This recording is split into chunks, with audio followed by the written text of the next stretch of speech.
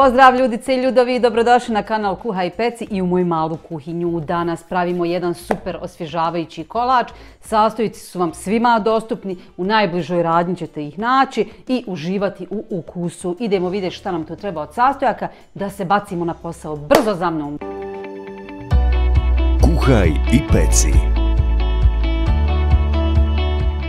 Evo ovdje prvo da vam pokažem svu skalameriju koju sam pripremila, znači tepsija, tri izdjele, ovo čudo za ribanje limuna i dvije male kesce u koje ćemo da stavimo prhko tijesto. E, a tijesto ćemo da zamijesimo od sljedećih sastojaka.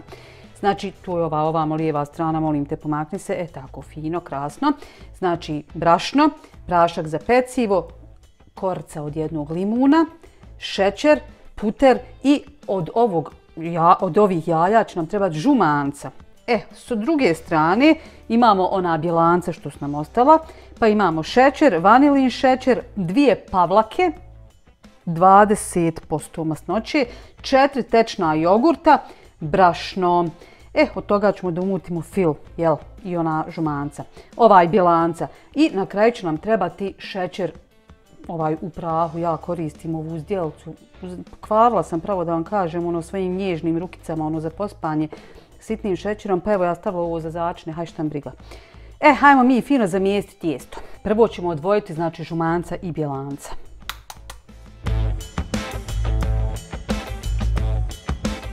U žumanca ćemo da dodamo šećer. Fino ćemo to da umutimo malo. Vidite šta je čvrsta ženska ruka. Gledajte vi to, ha? He, valja to umutit. E, hajmo sad naribat malo limuna. Dodat ćemo puter. E, malo ćemo ga ovako samo da razdvojimo. Gluho bilo, jedva ga izvali iz one mutilce.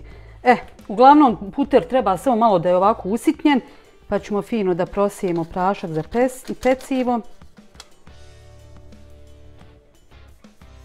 Prosijat ćemo i brašno. Uj, u mene ima i sa strane, aj šta fali. I od ovoga svega zamijesti jedno fino ovu tijesto. Ču mene brašno. E, tako. Sve ovo pokupite okolo kod prstimo putera. Jest fino kad imate kome zapovedit pa kažete daj, a ono doleti i sam pod metač.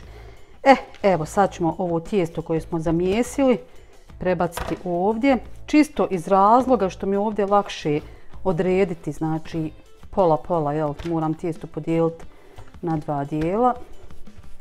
Što bi ja njega mogla ukalupiti, tako. E, to, da ima neki oblik da znamo dakle ću krenuti. Znači trebaju mi dva dijela. E sad idemo od prilike, nećemo sad stvarno vagat, ne pada mi na pamet. E, sad ćemo jedan dio da stavimo fino u jednu kesu, drugi u drugu. E, gledajte sad. Jedna kesa ide u frižider, druga kesa ide u zamrzivač. Ova što ide u zamrzivač možete slobodno ovako malo spljoštiti da se bolje ohladi i unutra. Znači u zamrzivač. Ova što ide u frižider, ona će se prva raditi i nju ćete ostaviti u frižideru otprilike pola sata. Znači bilo bi idealno više ali eto, bar pola sata. Eto. Ljudi moji što ne vičite da treba završiti ovaj kolač, ja našla nekakav horor, pa dok se ja to odgledala, pa posle nisam smjela da ustanem sa sečije i sjedi, sjedi, evo prošlo dva sata. I onda se sjetla i kore i kolača i svega, sve ono onako stoji. E sad ćemo ovu tepsiju prvo ovako malo da namažemo sa puterom, pa ćemo fino da pospijemo sa malo brašna. Ovaj višak brašna ako vam ostane slobodno istreste, nema viška.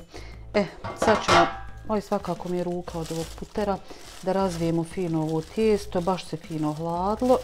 Tako, sad ćemo ga razviti na površinu ove tepsije koju smo pripremili. I ja pricla, evo ga odmah puče, sad ću ja to polako ispraviti. E, ja to ovako nože malo napravim, zguram jel, u stranu da dobijem liniju jednu. E, evo jedva sam ja njega prebacila u tepsiju.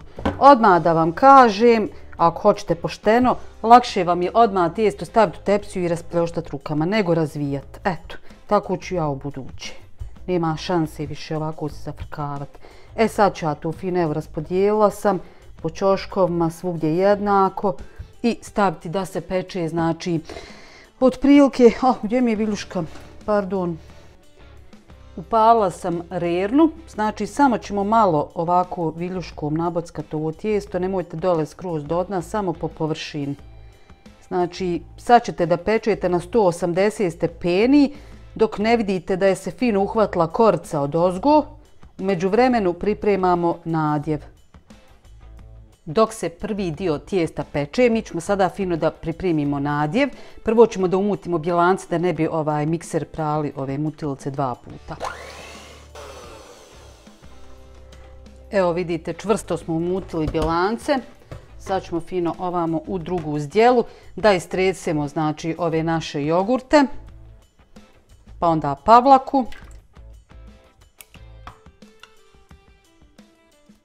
Sad ćemo dodati dvije kesice vanilije šećera, kristal šećer i brašno.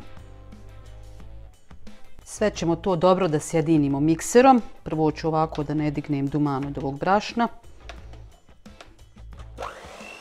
Sad ćemo fino u ovu smjesu da dodamo umućena bjelanca i lagano kružnim pokretom da sjedinimo, znači ne koristimo mikser sada. E, evo ga. I tijesto je spremno. Sad ćemo znači ovaj fil da nanesemo na ovo tijesto. Fino poravnamo. I na ovo sada naribamo ono hladno tijesto iz zamrzivača. Znači ribate dok ne potrošite svo tijesto.